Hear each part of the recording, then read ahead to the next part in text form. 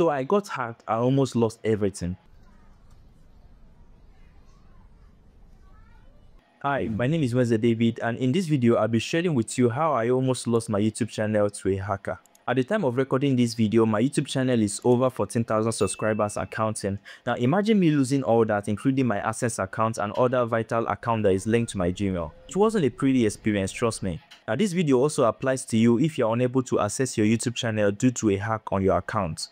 So go ahead and watch this video to the end to learn what I did to gain access to my YouTube channel account again. Now this hack took place on the 17th of January 2025 and I was able to recover my account on the 19th of January 2025. So in this video, I'll be sharing with you what happened, how it happened, and how I was able to recover my account. Now, in addition, I'll also be sharing some vital security tips that you need to implement today to protect your business, online business. So around 1 p.m. in the afternoon, I was out offline and then that was when the attack happened. Okay, the attacker, uh, the hacker got hold of my account remotely and started performing some action without my knowledge. Now, before you say it, my account, my laptop was off and my internet was disconnected. So I really don't know exactly how it happened. Honestly, I'm still trying to learn how this uh, remote stuff work. Anyways, he, they were able to log into my Gmail accounts because at the time I was using Chrome uh, password manager, which uh, I know better now. So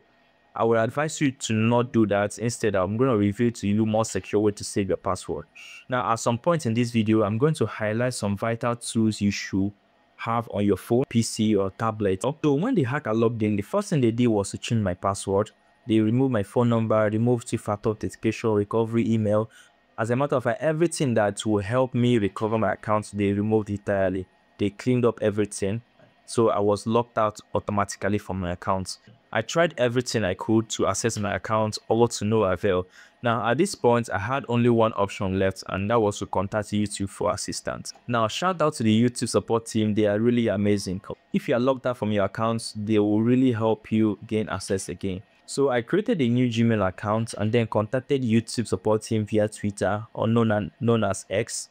Now just search for at Team YouTube on Twitter or X then you find their you find their account there message to them explain your situation to them which i did. I explained my situation to them and then they responded by asking me a few questions about my channel which i said i provided all the details. Okay now they verified that i'm the real owner of that account. So because my id was linked to their accounts they were it was easier to verify that i'm the owner of the account. So they sent me uh, instruction to create a new gmail account which i did and then they I, I, sent it to them. They now sent me a recovery password. The next day now this happened the next day okay? The next day they sent me a, an email uh to the new account that i created with a password uh recovery for the old account. So i immediately i rushed in reset the password and changed everything back to the way it was and now implemented some other extra security tips on my account. Now note at this point, I've already purchased a premium antivirus software for my computer.